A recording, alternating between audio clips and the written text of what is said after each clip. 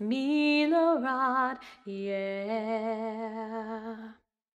One happy birthday dot com.